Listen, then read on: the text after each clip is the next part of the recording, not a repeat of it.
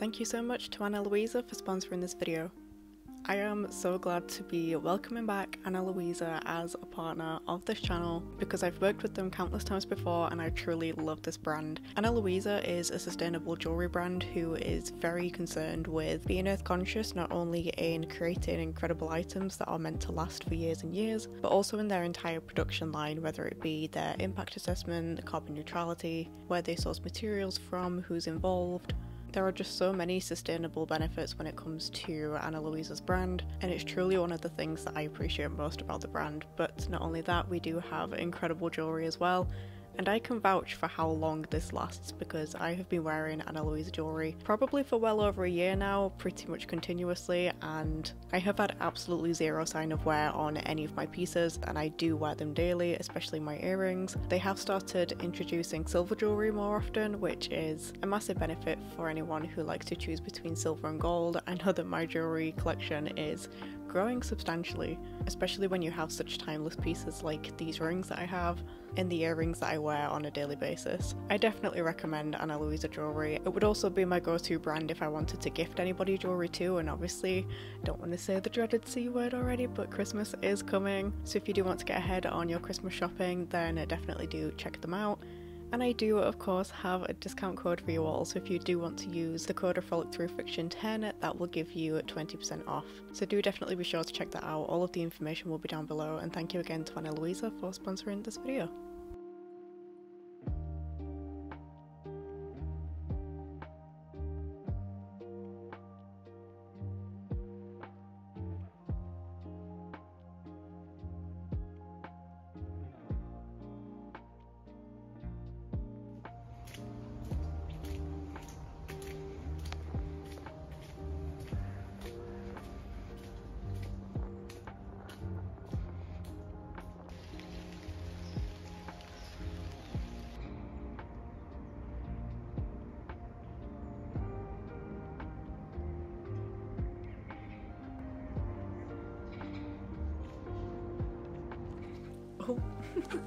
Hello my loves, welcome back to another vlog. I hope you're doing well and I hope that your November is off to a lovely start. As I said in my October wrap up, November TBR, some kind of video. I'm hoping to hit the ground running in November because I have already finished two books. Yes, I have already finished two books and I'm hoping to finish two tonight, so I thought I would tell you about them before I do so. The first book that I will definitely be finishing because I'm about to listen to the final part of it is The Dark Between the Trees by Fiona Barnett. This is an arc that was very kindly sent to me by the publisher, but this is already out. This is what the cover looks like. In this one we're following a group of five women who uh, venture into an unexplored woodland that nobody has gone into for years and years. It's been off limits to everybody, but they want to discover the truth behind what happened to a group of soldiers who went missing in this woodland years ago. We do alternate between the two timelines and I am 44 minutes away from the end of the audiobook. I did decide to get the audiobook because I've been trying to sort out a lot of different things and just generally doing mundane organisational tasks. So I've been listening to a lot of audiobooks but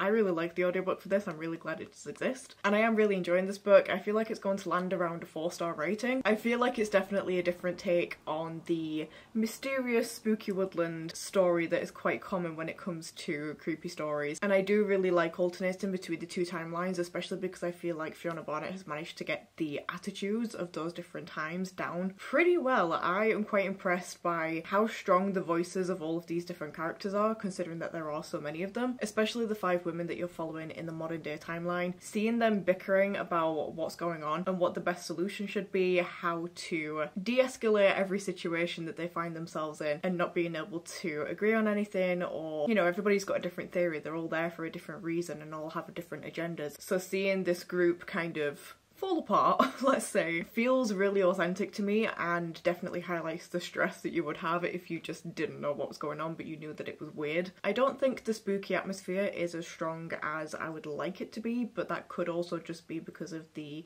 attitudes of the narrators that we're following and whose perspective we're kind of focusing in on at that moment because some of these characters do see it as an exciting expedition no matter how frightening it is to not understand what's going on. So it could be influenced that way, but I feel like the horror aspect needed to be just turned up a notch, just just a little bit, but other than that, I don't really have any criticisms of it. So I will be finishing this one shortly, but I am also reading The Liminal Zone by Junji Ito, which is a manga. I, for some reason, thought this was a sci-fi.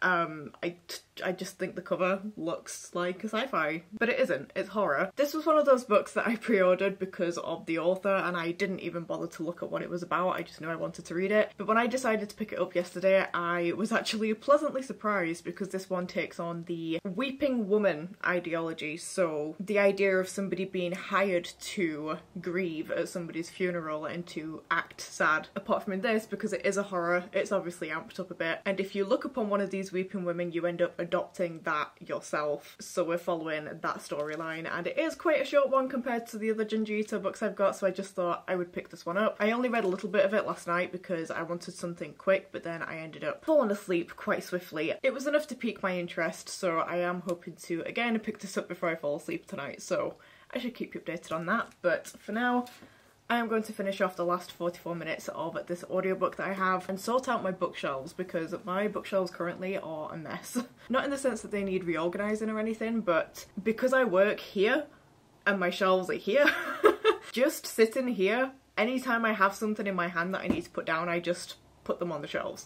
So I've got a whole stack of books from filming my October wrap up in front of me. I have a cup random little knickknacks, lip balms. I have a few books that I've just been kind of putting aside to show you guys because I have received them in the mail. So I'll show you those in a bit. But yeah, I just, I've been putting stuff everywhere and I need to sort it out. And I do also want to do a little bit of rearranging of my desk, not of this part itself, although it does need tidying, but there is like a, an underneath part that's only small, but I've managed to cram so many things in it that I have no idea what's under there anymore. So I just want to kind of clear it out and rearrange it because I have like my tech supplies and things under there, and I think that my laptop could do with living under there now that I have this. So yeah, I just want to do a little bit of organising. I did intend for today to be like a big, you know, refresh of everything because it's the start of a new month month and that's just how my brain works. But I've honestly spent most of the day laid down because I've been having a flare up. So today has very much been a day of me alternating between activities. So I had my Patreon coven call with of course my patrons early this afternoon. So I had that, went and laid down for a bit went for a walk, went and laid down for a bit, made some food, went and laid down for a bit, and it's just been alternating like that, so I haven't really managed to be anywhere near as productive as I wanted to be, but I did wash the dishes, and I'm about to sort out this area, so it's not all bad.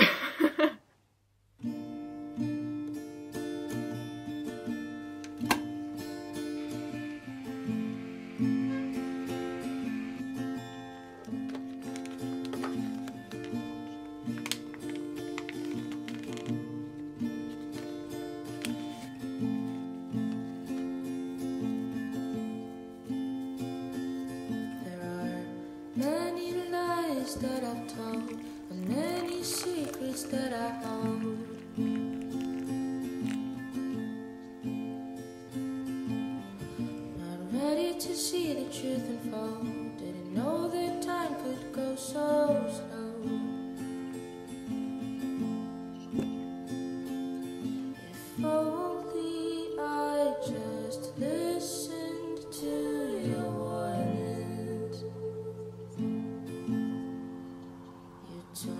told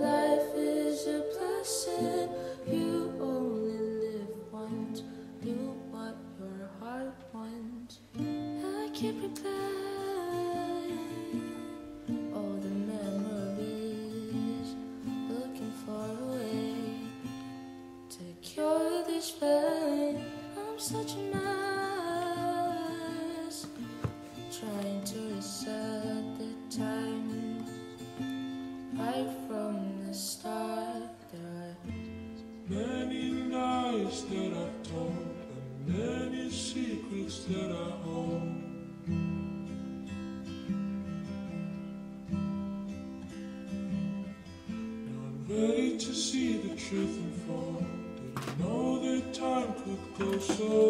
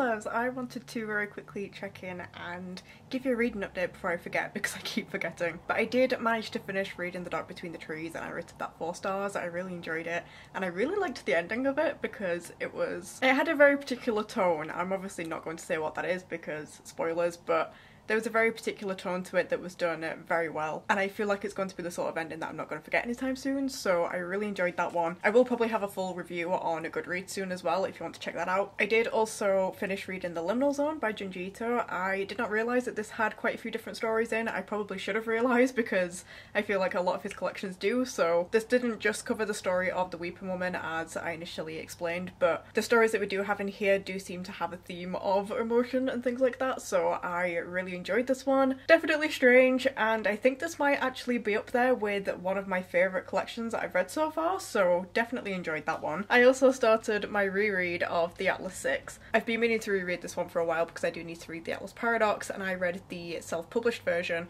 and I don't think you have to read this version to be able to understand The Atlas Paradox if you've only read the self published version, but I just generally am bad at remembering what happened, so I needed to reread it anyway. So I thought I would do that. I am listening to the audiobook. I honestly don't love the narration of the audiobook, but I am 100 pages into this and absolutely adoring it. I completely forgot how much I enjoyed this book, but it is definitely one of my favourites. I can't remember when it was that I initially read it, but it's definitely left a lasting impression. Something about Olivie Blake's writing and her characters in this book is just exactly my sort of vibe. This is a dark academia fantasy book, although the fantasy is almost sci-fi based, so you do get a little bit of everything with this book and we're following six characters who are competing for a place within the Alexandrian society, but they don't realize quite how high the stakes are when they initially join.